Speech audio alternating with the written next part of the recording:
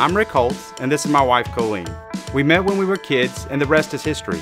We had six kids and then adopted five more from Costa Rica. Life with 11 kids is interesting to say the least. Every day is a new adventure.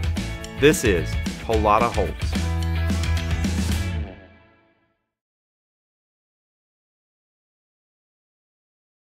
We just got back from the, well, we had two visits today. First, two big hurdles. One, we had to get the passports, the Costa, Costa Rican, Rican passports. the Costa Rican passports for the Ticos. And then we had to go to the U.S. consulate to get their visa. Visas. And the visa is what gives you We got it. permission. You, d- I got to tell it first. We got the visas. We're going home. We're so excited. anyways, the Uh, two and a half years we've reached our our milestone, and that's bringing our kids home.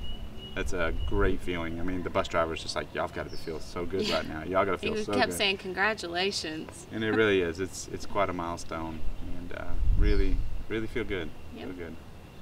Excited. excited. We got in the car right after we got done with the consulate, and immediately we started calling and texting our entire family, friends, uh, just everybody. Just Phone is ding ding ding. I mean, ding, I didn't ding. even I didn't even look up the whole trip. We were just just in celebration mode, just celebrating with uh, uh, with family, letting them know that we're coming home. Everybody's excited. It's a milestone moment, and I think um, we were talking to the driver on the way back to the house, and I was explaining to him that it's really cool how the United States does it. It's like they're still Costa Rican citizens, but the minute their foot hits American soil, they become an American citizen, and that's uh, I think that's, That's pretty a really cool. neat thing. That's pretty cool.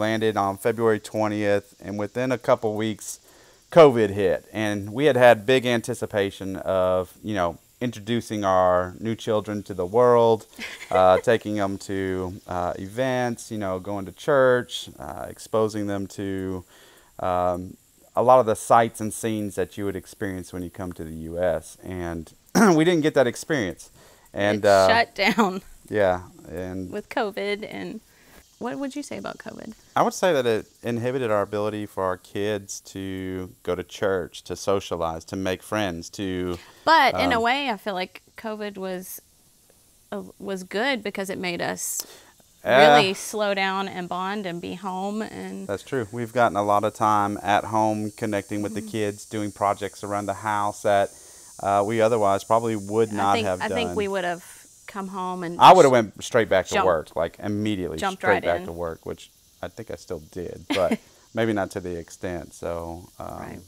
being being at home has has been a, a help these first eight months, just uh, integrating the kids in. We didn't really know what to um, expect coming home either, so it's like, um, you know, we talked about it earlier earlier on when we were in Costa Rica about um, the honeymoon phase. You know, this this uh, uh, it's a real thing, but we're eight nine months with the kids, we and still are in honeymoon phase. I feel like we're still in honeymoon phase. Uh, for us, one of the biggest, I think, the biggest hurdles is education. Like we we want them to hit the ground. uh, and start figuring out where they are educationally, like um, what grade level should we be teaching them, and and on top of that, we've got the language barrier, and that's that's a significant barrier. Uh, so early on, um, we had a family that um, actually one of the young girls that works for us in our in our marketing department, her mother had volunteered to kind of step up and help out with the Spanish to English teaching as a tutor uh, to come into the home and to tutor the children. And that to do the testing to see where they would be too. right, and she's a homeschool mother as well, and I believe they have ten children and um, gen- a genuine love for the Lord. And so she she came in and just started working with the kids. She she's fluent in Spanish uh, and was able to um, really get down to their level and Mhm. really start working on their English skills and dramatic improvements. goodness. dramatic improvements. In fact, Benjamin, um, who uh, there He was five. he was five, so uh, his Spanish wasn't all that great either. so, but now he's like he doesn't remember his Spanish. So now there's there's a little bit of this element that okay, once we, we want conquer, them to keep their Spanish. We don't want them to lose it. so once we conquer the English, then it's it's going to be going back to Yes. reteach them their Spanish. Like we were driving. Yeah, it was really funny though because they went and got their haircuts at a Puerto Rican barbershop, and the guy was talking Spanish to Joseph. I mean Jacob, and Jacob was like having a really hard time flipping back and forth. Yeah. And he was he was so worried the rest of that day. He was just like, I've forgotten, I've forgotten, and he was just kind of would go off in a dead stare. it he was very funny. worried about forgetting. yeah. With the kids um, coming back and seeing the, like, just being purposeful, even within business, is like, uh, that's real important uh, for us, is to be purposeful in business, to, to teach them, um, and this is all of my children, is to teach them uh, proper work ethic and a desire to do work and to do it well and to give your best uh, in everything that you do. And so we wanted to start uh, Jacob out in the wood shop and just let him get in there, meet some of the guys. Um, and we asked him, "What do you what what would you be interested in?" Mm-hmm. I mean, you know, there's pottery or candles or stitching or or or marketing, mar- yeah, what videography. vid- I we mean, were like, "What what after coming around and seeing everything, what interests you?" And he immediately he wants to he wanted to learn the woodworking. mhm, he likes working with his hands. Mm-hmm. And so we uh, we scheduled some time for him to. Of course, he's he's in school at this point, so we can't just let him go full time Yes, we into did summer school. um, but we set aside some time for him to go into the, the wood shop and, and work with the guys, and uh, it was so cool. It's like we we uh, we put him in there for the first couple days, and he was working, and he's a hard worker. You can tell almost immediately he is very focused on his work. And I got this t- uh, text from uh, one of the guys in the wood shop, and he said, "You send Jacob back anytime. He is a he's a beast. He just works and works and works, and he's very diligent." Had to make him take his breaks and his lunch. yeah so and those are good compliments and things that I, I take a lot of pride in when, when i see that coming too uh, and then besides that I, I wanted them to also spend time working with uh, my dad um, who's uh, an expert you know guy on the lathe and so they've been going over to my dad's house him and uh, jacob and levi have been going over there and soon as jacob and levi are working with grandpa all of a sudden joseph's like i, I want to do something and, and i want to And work Judah was like, "I want to do something." and they all want to do something. So they're like, we want to work with Grandpa Daryl. So we send him over to Colleen's parents' uh, house, and uh, They Joseph put like and engines in they the put a new a new transmission in a car. so He's an out there. expert welder, so they Yeah. did. They haven't welded yet, but they did a but they get to do of. a mechanical work. Yes. a lot of mechanical work. they loved it. from the beginning of the process of adoption, from the moment we made the decision to where we find ourselves right now, um, we have been blown away by the support, by, um, I mean, just going back to the adoption agency, we use Lifeline, and we were so impressed with them in just the preparation, uh, the education that they make you take, the adoption agency makes you take in preparation for these kids coming into our home, uh, how they're going to acclimate, worst case scenarios. Uh, we've had a couple home visits uh, since, and we have to have home visits for the next five years. I think we have a home visit every six Mm-hmm. and we months. send pictures um, over to Costa Rica and um, different things that we have to tell them things that they've learned, and um, it's our first home visit was amazing. She Yeah. just kept saying, "Okay, well, what problems are you having?" And we're like, We're just not "No, having we're, any we're not." problems. Well, what about this? And like, no. I don't think she believed us. Like she would ask the same question in Different ways. ways. and we're like, "There's And nothing." it was funny is because we we told the kids, she's like, your kids can be here when we're doing this interview, or they can they can go do stuff. Every one of the We kids were like, "Well, we don't care. What do y'all around wanna do?" I mean, we were And circled circled with all of our family there, and then she starts asking them questions, and she's they're giving the same answer. So it's like, it it was just it was just neat to see. it has been beautiful. It's been a neat process, and um, the our time in Costa Rica Oh. was very special.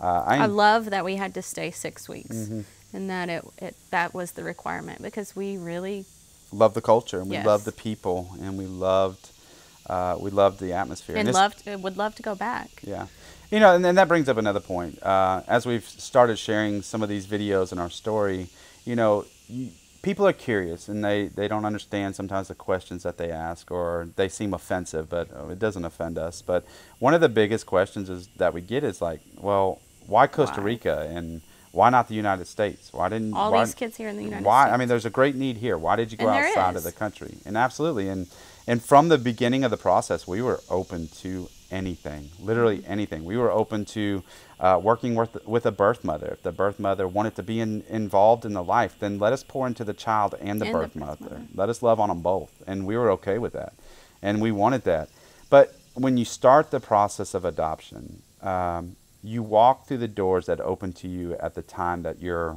wa- walking through the mm-hmm. process. So I didn't go into it with the mindset that I'm only opening my heart to the United States. That's it. My heart was open to anywhere, any place. We were just going to be obedient and walk through the doors that open. And so it's not that we're anti American children or we just love children. It's not that we we don't see the, the need in America is great. It's great everywhere. And it's just our heart is just to love on children. And so I think the whole process has been been neat to see because I felt like it's changed my heart as well mm-hmm. through the whole process. Like I've I've grown more in love with with all of my children, with even my wife, and just serving her and seeing her in a different light as well. And it's it's just grown us so much as a family, um, so much more than I think if we would have just kept doing our own thing. Um, this has really Yeah. improved the family as a whole. Um, the family has stepped up. Yeah, I was going to say the siblings have all meshed perfectly. It's still those first few weeks in Costa Rica. That's how it is. I And not to say that we don't have problems. I mean, just yesterday I saw Judah pushing Benjamin to the ground and King of the Mountain and just being mean, and I'm like, I have to address it. He's like, but Dad, I was playing King of the Mountain. And Yes, but you were pushing too hard. he's littler than you, and it's like you know going through those those moments. But it's it's it's just neat to see the whole family step up together, and um, Kelsey and Faith and uh, the older girls are stepping Madison up and- FaceTime, she FaceTime calls every day. every day. So it's like they so have she's a somebody, and and somebody will be out in the yard with her on the phone, taking her everywhere, showing her every. so she's she's still She's- building yes. relationships with everybody in the family and maintaining that. And She showers them with gifts every birthday. Her and Isaac send birthday gifts like Mm-hmm. crazy, and and letters, and um, and she's painting. So Madison's painting a lot because Hawaii's really locked down. So um, they all have put in requests of what they want Maddie to paint. and I'm wanting to sell them all. And she- he wants- they're like, Dad, you can't sell my painting. I'm like, "Ah." anyways, it's it's been really uh, really good. It really has been good. I I think that there's a lot more to unfold, and I think there'll be a lot more that has to be unpacked. Um, But little by little, Mm-hmm. be patient. day at a time. Just walk walk through them and try to be faithful. Already, there's talks of, you know, as our kids grow up and move out, that we probably won't stop adopting. We we want to we want to pour our life out in pursuit of children, and so we want this home to be a place where we can raise many sons and daughters uh, for His glory, and that's that's our heart. And so, and one day when we're too old and we can't adopt anymore because there is an age, uh, different countries have different ages. So, um, then maybe we look at um, doing something different or moving out of the house and then giving the house to one of the kids that can carry it on and can keep moving forward with, with loving uh, the orphan and the widow. I think that's what it's all about.